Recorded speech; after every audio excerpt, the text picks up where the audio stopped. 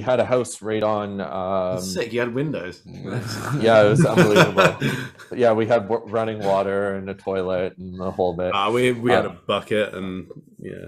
We don't want to know. so you talked about struggling with your sexuality. It was actually something I was going to ask you a bit earlier on the episode, but I didn't. The time didn't really seem right. But now is the time.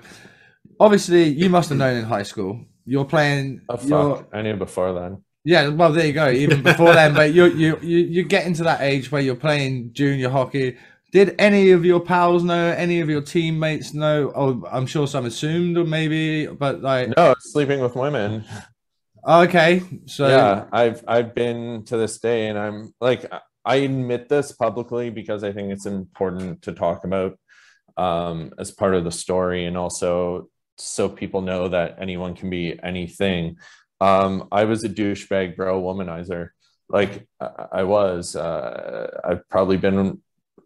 I've been with way more women than men, even now, um, and I'm gay. So, like, you know, we don't know who's Was that was that like what? a, a um like sort of macho bro facade? Yeah, oh, 100%. I was like the stereotypical hockey bro.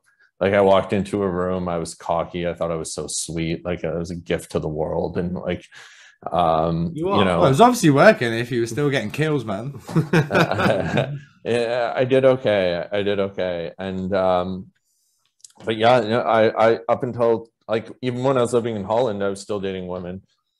Uh, like I was, I was, Was that more like around team functions? Were you still like maybe dating guys like on I hadn't, social I, I wouldn't even, I didn't think that I could be gay and play hockey.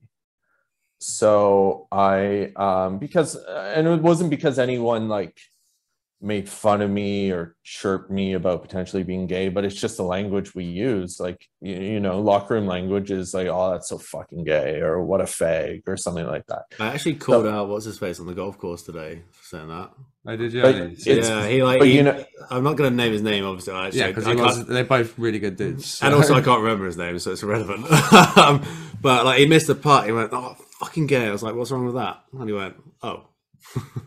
But it's it's true though, and it takes people saying that for people to realize. And and um, but I I heard it so much and so often in those locker room settings that I didn't think I could be gay and play hockey.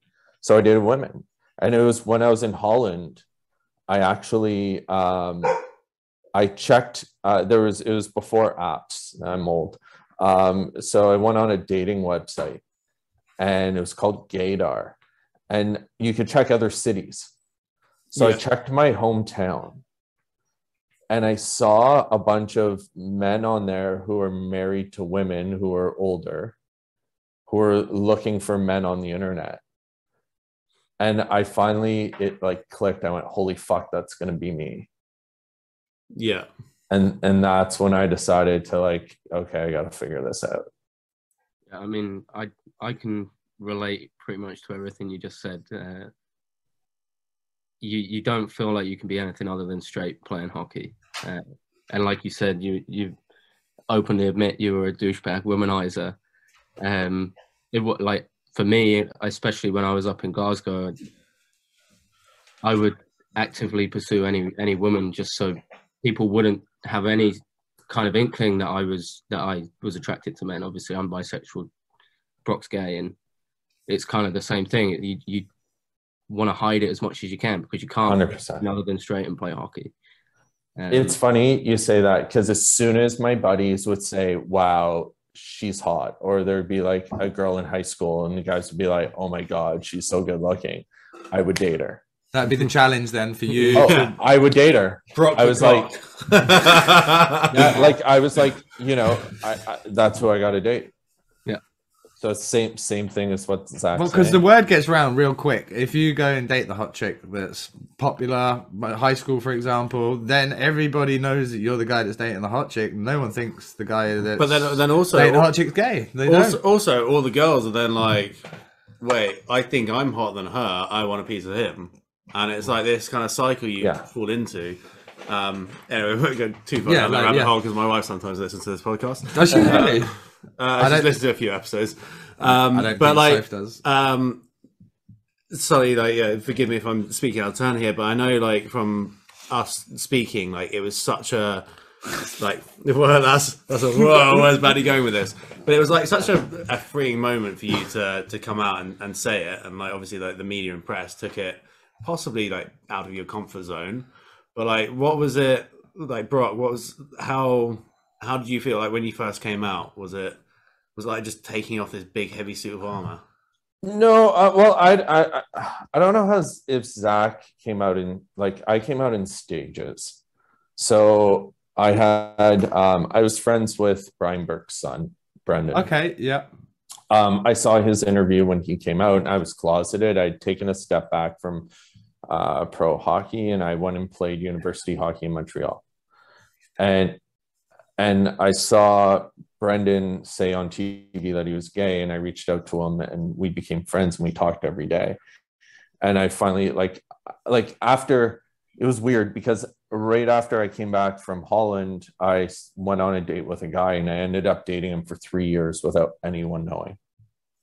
Like Wow. nobody in my life, nobody knew, and I had I was kind of lucky. I had a, a couple knee surgeries, so I was I took the next two years off and I was it was like kind of lucky because then I didn't have to like hide it in the locker room. Did you feel like w- were you living with that kind of constant state of worry that someone would find out? Oh, all the time, friends, family, and I wouldn't date like I my family. Everyone was in Sudbury. I wouldn't date there. I'd only date in Toronto Yeah. because it was big and nobody would know. And like we dated for three years. We had he had an alias for me, a fake name with all of his friends, so that they wouldn't find me on social media. And So and did any of his friends or family were they aware at all? Because they would did they know that their their son was gay and that he was dating? Oh, oh, yeah, he was openly gay.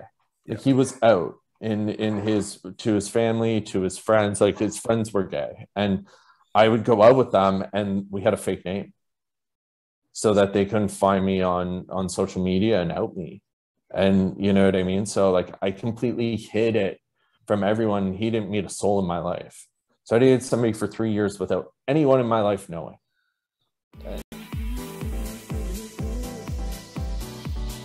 Thanks for watching 4,000 and counting clips. If you want to hear the rest of the episode, you can head over to Apple or Spotify now. Do that right now. While you're there, don't forget to leave a five star review if you enjoyed the content. While we got you on our YouTube, make sure you subscribe, and there's going to be plenty more videos coming soon.